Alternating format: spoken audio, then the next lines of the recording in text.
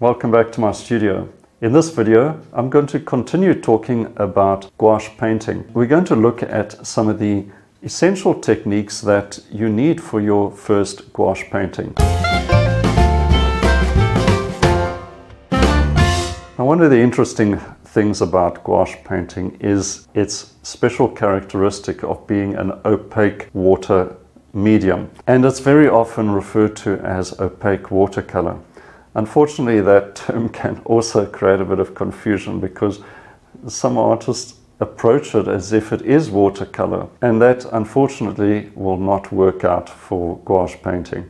Getting the ideal consistency that you can use to apply layers of paint fairly quickly is what makes gouache so great. In fact, if you approach it the way you would oil painting, you're going to get the best out of gouache paints. And when I want a water-based medium, gouache has become my first option. That uh, special sort of consistency that is wet enough to go on evenly, but not too wet so that you lose the um, the brilliance of the pigment because gouache is about strong pigment and we've got to keep that. The biggest reason for failed gouache paintings is too much water and the second one, too much white paint. So maybe those are the two things we're going to look at a bit closer in this video. All right, let's have a look at getting the perfect consistency with your gouache paints. I'm going to take some of the Jeece Finest gouache paint, get some white, put that on my mixing tray, just cerulean blue, vermilion, yellow. Okay, now one of the tips when you put your paint out and you're getting set up is your paint is already going to start drying. So I use my little spritzer and just a little spritz on there. Not too much, you don't want to see puddles forming, but just to make sure it's not drying off too quickly. Okay, now that consistency problem. Remember, gouache paint is not watercolor. We're not putting down washes of color. We're putting down layers. Think of acrylics, think of oil painting, proper layers of paint. I prefer to use my paint quite thick. So let's have a look at it. This is straight out the tube with that little spritz on it. And let's just test the consistency of that cerulean blue. Lovely, thick and strong. You can see it is scumbling a bit as I drag it.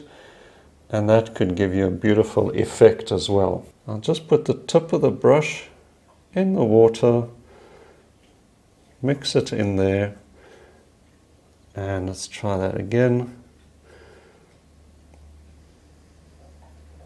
not making it too thin if you bring in too much water you're getting a very thin layer and they, that may be fine for um, toning your paper or something like that but to paint on it consistently, you're going to have to get to a thicker consistency of paint. I couldn't do the whole painting with this sort of watery consistency of the paint. It would make it very difficult to manage layer over layer with wet paint like that. But I find the perfect consistency is straight out the tube with just putting the tip of the brush in the water and adding the water in gently. Getting a bit more viscosity going. Compare that to the dry over there. And that'll also gives me strong color. It'll dry pretty quickly and I can work over that. Let's uh, take some yellow and I can paint over that. I do pick up wet into wet.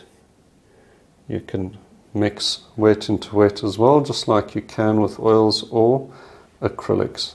Using my tissue paper here just to dry off that brush.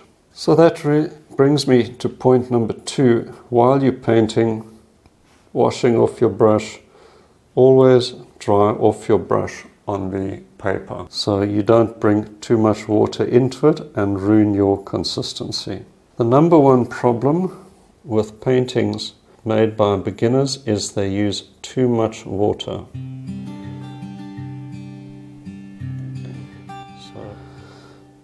So if I get in some of that white, bring it into the red, and you can see I'm getting a nice pink color, but it's quite thick and I can put it down and it covers very nicely. If it was, if I had too much water in there,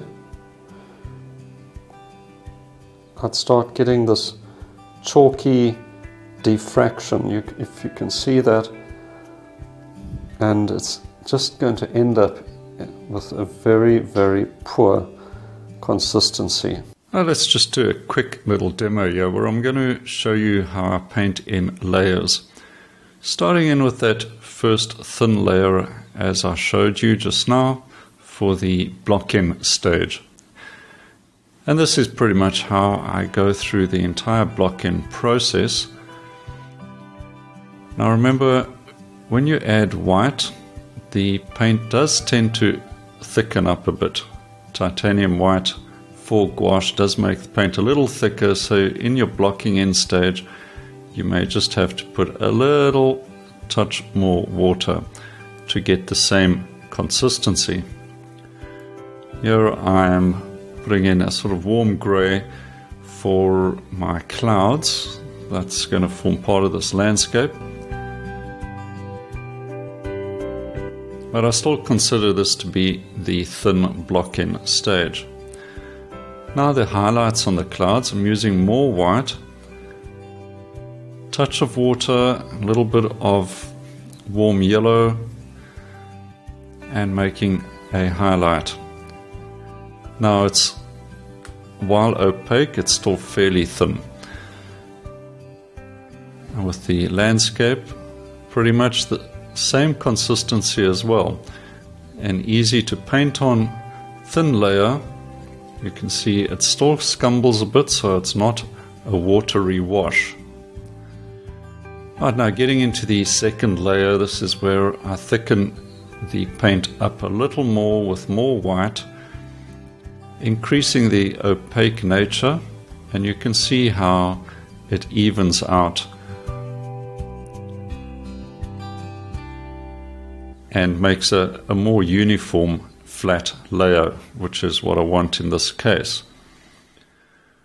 Going into the clouds with second layers, bringing in more color, and uh, simply building up the variety of shapes in the clouds themselves. So the main thing is adding on layers. And yeah, more highlights, so a bit more yellow and white getting in these thicker layers around the edges of the clouds. So the stronger I want the colors and bolder I want them means making the th- layers thicker. And this is basically a third layer already. And I'll proceed that way. I have no hesitation about adding layers. Right, so there you have a whole variety of paint consistency from your first thinner layer to your working layers, which are paint straight out the tube and a little bit of water. And now let's have a look at the completed painting with its many layers of gouache to get the final effect that I'm looking for. And there it is, quite happy with that. Well, I hope this video helped give you a better idea of what gouache paint really is and getting the perfect consistency for your painting. There is some leeway, there's a variety of paint thicknesses you can work with, particularly in the beginning where it can be a bit thinner. But ideally through the whole body of your painting and to finish off you want good consistency so you get nice layers of paint and you can actually build up those layers and make your gouache paintings really pop. So that is what you need to focus on now. Try out some gouache painting straight after this video and uh, let me know how it goes for you. Now remember there's a, another video or two coming up about gouache painting techniques and of course a lot more demonstrations in the future. So if you don't want to miss those, please make sure you have subscribed and got your notifications turned on and uh, you'll be notified of the next video as well. Excellent. Until the next time, cheers for now.